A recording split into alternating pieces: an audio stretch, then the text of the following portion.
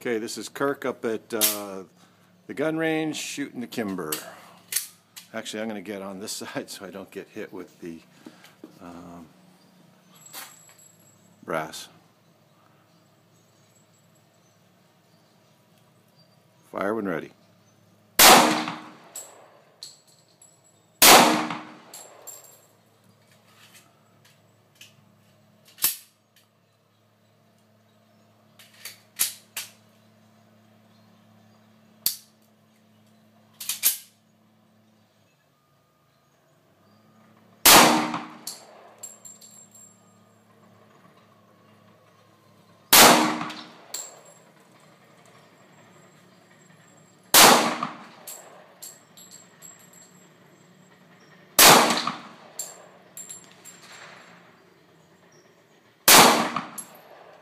Good job.